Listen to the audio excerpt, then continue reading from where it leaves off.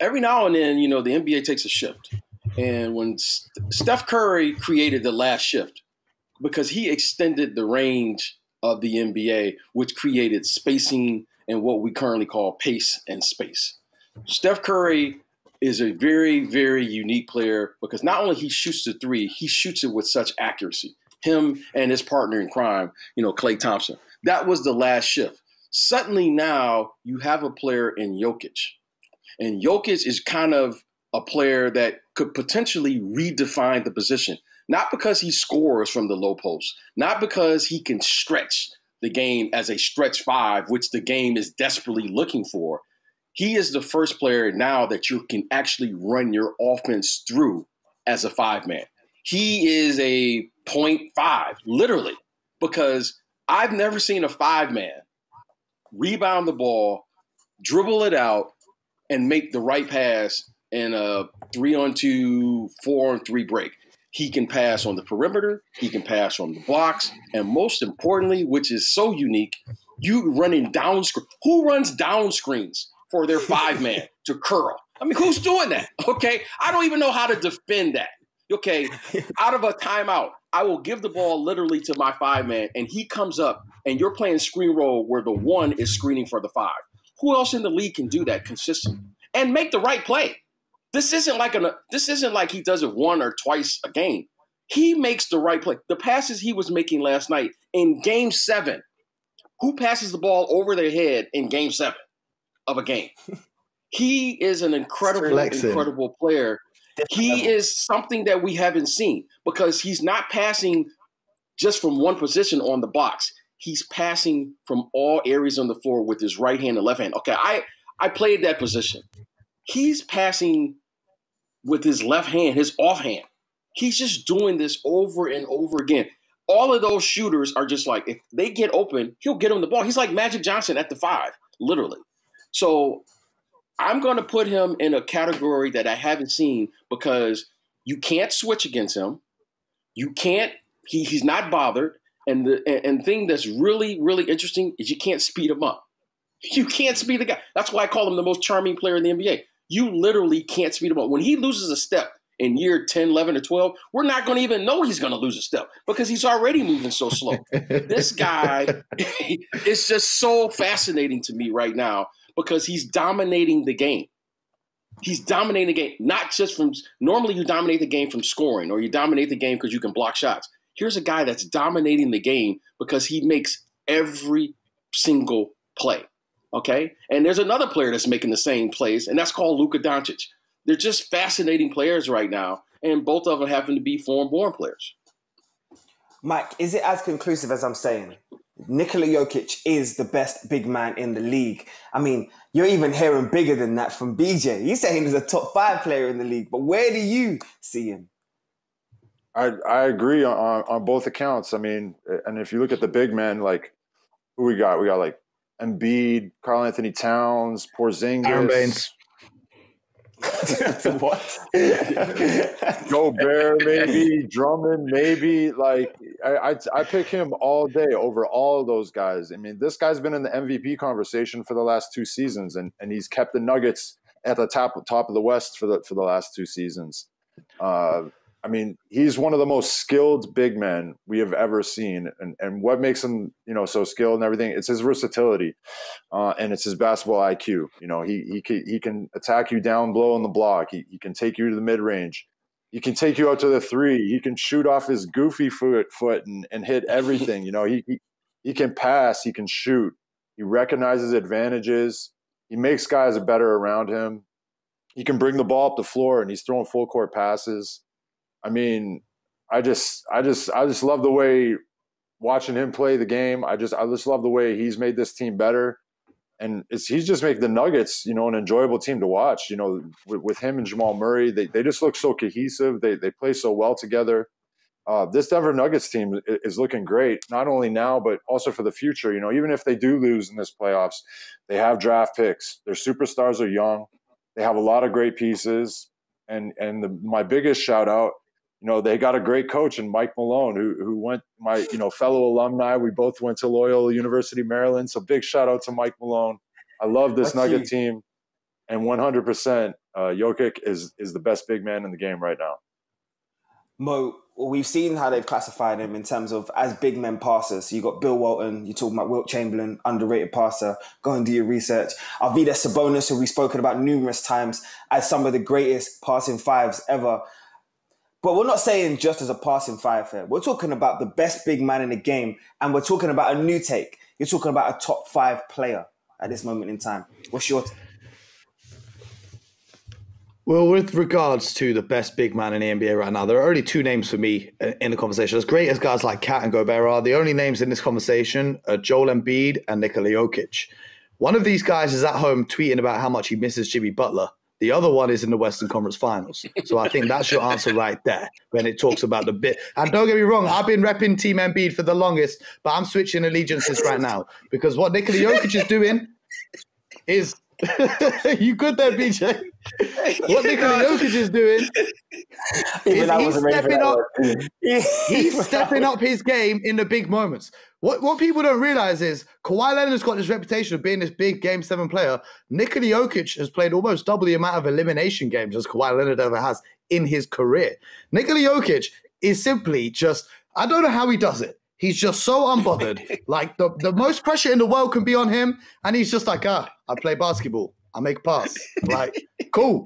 He just he just plays basketball and he just loves it. And he doesn't let any of the media get to him. He doesn't let any of the criticism get to him. He does what he wants to do. He play like BJ was saying, he plays at his own pace. He controls the game. And and that behind the head pass last night when they were up 20 that on was... the Clippers in game seven was an outrageous flex. That was one of the most outrageous flexes I've ever seen, bro. That's pure yeah, humiliation for the opponent. That's the kind of thing I can only do on 2K. That was an outrageous flex. now, when we're talking about top five players in the league here, that, that's a very subjective thing. BJ, I want to know: Are we talking players in the world right this second, or are we talking if no one was injured and everyone? Because it's for I'm me, talking, it's different. I'm talking, I'm talking everybody injured players, non-injured players, In- including Steph and KD, including oh, Steph and KD. And I'm and, and, I'm, and I'm gonna this why because this young man can play full court and he can play half court. When the game slows down, that's probably to his advantage. And we all know in the NBA playoffs, as you, as you advance, the game is going to slow down and it's going to get organized. The more organized the game gets, the better he is because he can play from the interior and post. You got to double team him now. And he can shoot the three. He can shoot the mid range. He can shoot off the right leg, left leg, fall away. He has the entire repertoire to play the game however you want to play it. And my friend, he's like Burger yep. King. You can have it your way. You can have it your way with You can have it your way with him. Any way you want it, he can give it to you. He makes me nervous as a player because I haven't seen a player like this. And we're just talking about scoring the ball. That's not even his best attribute. This man right now, I'm afraid to double team him. I'm just going to let him get 40 because I would if never he starts passing him, the ball and doing things like that, it's, it's over. It's over with him. If you're playing, if you're playing the Nuggets, Jokic's scoring is not going to be what kills you. It's going to be the 16 assists that he throws to his teammates. You know, if you just play Jokic single coverage straight up, you just live with the shots that he gets. You just got to live with him putting up 30 or 40.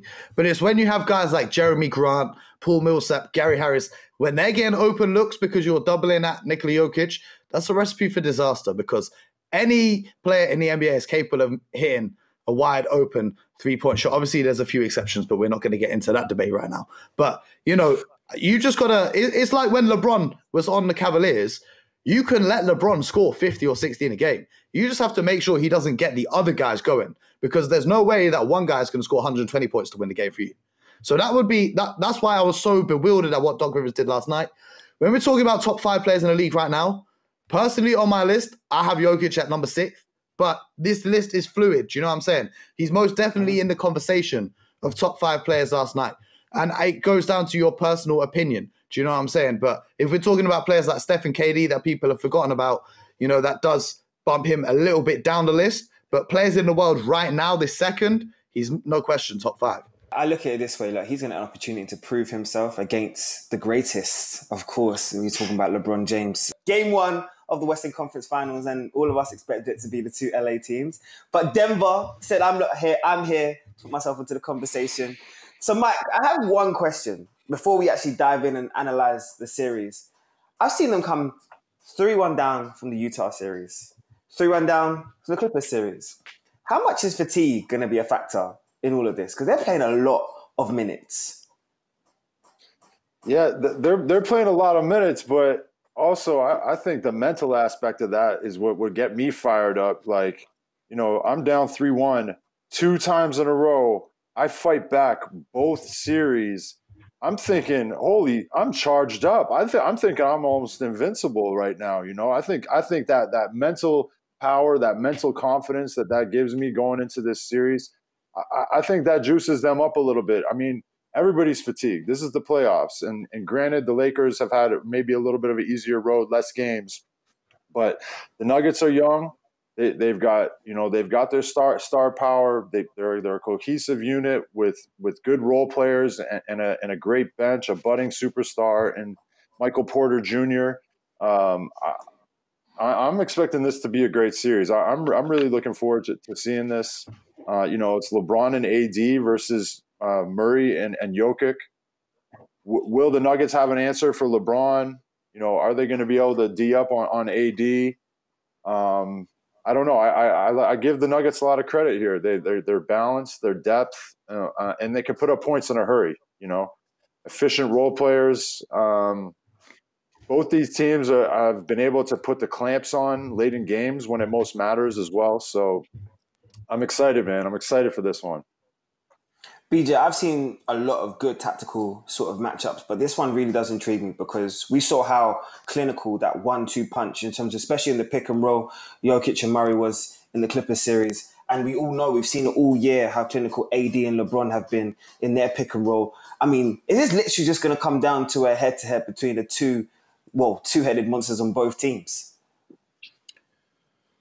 Well, I think it's going to be very interesting to see what Coach Malone, the game plan that he's going to design to try to slow down the Lakers, right? We know the Lakers have a, you know, probably the best one two punch in the NBA with AD and LeBron James. Now, when I look at this Denver team, the first thing is you're not going to be able to stop LeBron James, right? He's going to figure out at some point during the course of the game, during the course of the series, to put his imprint on the game the thing that I'm most interested in is the matchups of what they're going to do with the other guys. Who are they going to really guard AD with, right? Because I don't think Millsap is a good matchup. Even though Millsap is a savvy veteran, he's just too small to guard AD. Then on the other end is is AD are the are the Lakers going to put AD and allow AD to guard Jokic? That to me is going to determine the outcome of this series because AD basically has been playing five throughout the you know this entire playoffs. They've been really going small more than him than going with their bigger lineup. You know, JaVale McGee and uh, Dwight Howard didn't even play the last two or three games in the previous series. So I'm looking to see the matchups that they're going to do, and I think that's going to really determine the outcome.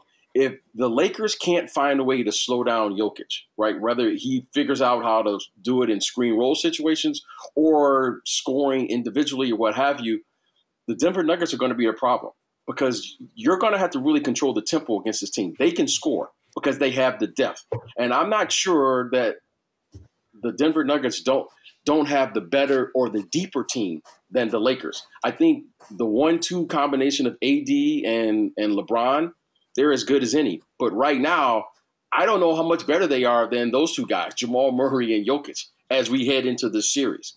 It's going to be a fascinating matchup. I think Coach Malone has a couple days to design a, a, game plan, and I'm looking really for the first quarter of the game. To me, is really going to probably dictate this series. And the reason I say that is because they're going to really display on the menu how they feel they can beat this team. I think Coach Malone knows I can't get down three-one against a LeBron James-led team. Why? Because of his athletic ability. LeBron James can make athletic plays that most players can't make, and his athleticism won't allow them to come back. But if they can keep it close with the with the potential to win these games down the stretch, I would not be surprised if the Denver Nuggets come through this series and we're talking the Denver Nuggets in the NBA Finals. Wow, Mo Mooncey, did you just hear that that take from our brother BJ? He wouldn't be surprised if Bro. Denver win this series. I'm gonna let you have the final words this week. Tell me how you seeing this series working out. You know what happened to me this morning, JD? I woke up this morning and I had to go on the NBA app to double check that what happened last night really happened because I thought I dreamt it. I Same, thought I was same. living in a dream. I thought I was going to wake up and it would be the Clippers and the Lakers. And I wake up and I'm like, oh, oh, wow, it's really the Nuggets. Wow. You know, I, I think a lot of people at this point, it's not the Battle of LA. And I think that the Nuggets can almost catch the Lakers by surprise here because all the way through the season, from opening night, Christmas Day, one of the games in February, first day of the bubble, it's been all about Lakers Clippers. That's all anyone's talked about. You know, the Lakers have been watching the Clippers closely to see what they're doing. But now they're not playing them. They're playing this Denver team that provides an awkward matchup because a lot of people are saying that the Lakers are going to walk through this one because they've got no one on Denver who can guard LeBron James.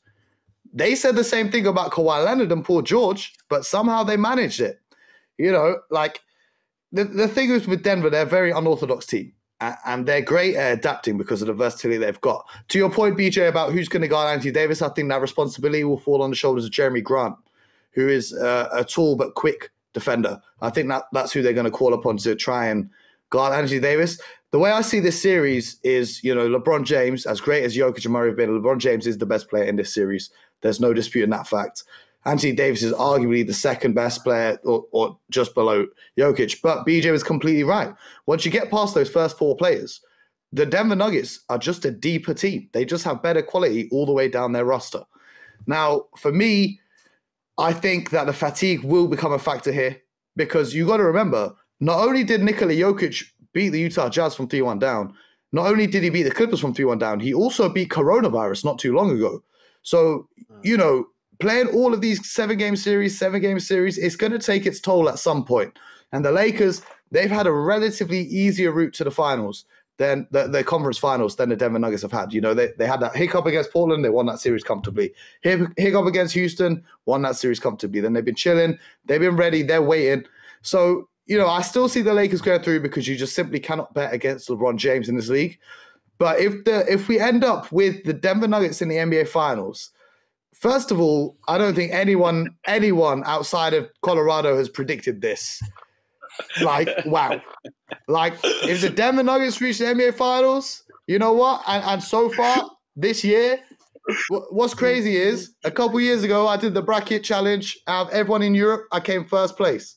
This year, I've only got one of the final four teams correctly, and that's the Lakers. so if the Nuggets get to the finals, this might be the worst bracket I've ever filled out in my life because this bubble has been absolutely insane for basketball. That's It has been Mo, if The you best get there, thing can you and I've I seen. get can you and I watch the game every game in the finals? Can we just make that? I don't hundred care percent, how one we do it. hundred percent, Oh, one hundred percent, BJ. Don't worry about that. That's coming, baby. Like that's coming.